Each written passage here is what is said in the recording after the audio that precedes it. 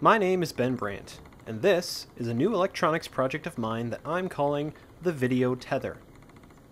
I enjoy making YouTube videos of my various DIY projects, but being a one-man operation has its limitations. If I want a sliding or panning camera shot, I need to be behind the camera to move it back and forth. I also want to do some work with long panning time-lapse video, but I don't have a good way to move my camera at a slow and steady pace. This is where the video tether comes in.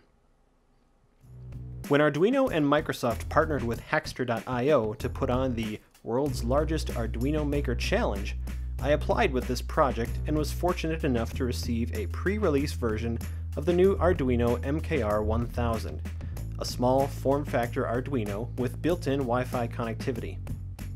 I should note that since this is a pre-release version of this board, the commercially available version will probably have a slightly different schematic and or pinout than what you see here. The hardware is relatively simple. To move the camera dolly in a controlled, precise manner, a stepper motor turns a small timing belt pulley to pull on a long length of timing belt, which is attached to the camera dolly. With this configuration, you can adjust the length of your belt and track however you want, and you can connect it to almost any kind of camera slider system. To keep the belt engaged with the teeth of the pulley, a smooth bearing keeps the belt pressed up against the side of the pulley. This can be easily released to feed the belt through by hand. Thanks to the board's built-in Wi-Fi, the tether can be controlled from any computer or mobile device through a web browser, the Arduino is programmed to run a small web server where the user can configure and move the camera with ease, and from a distance if necessary. An added benefit of the web-based user interface is that we don't have to overcomplicate the electronics by adding things like an LCD display or buttons. The software allows you to enter in the exact distance to move and the time it should take to get there.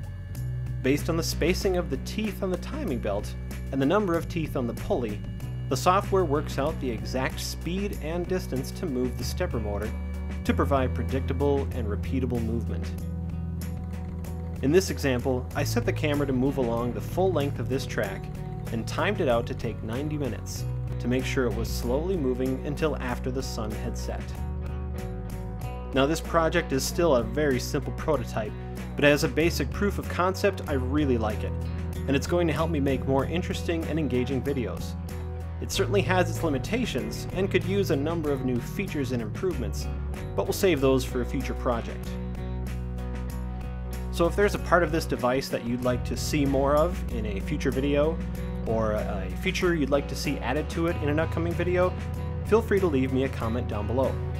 Thank you to Arduino and Microsoft for the hardware and the opportunity to build something cool. And thank you for watching.